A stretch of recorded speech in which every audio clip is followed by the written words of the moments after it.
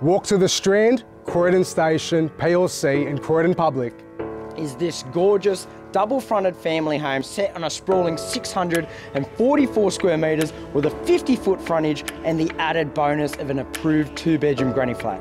My name's Edward Pena And my name's Philip Minnis. and this is 33 Edwin Street, South Croydon.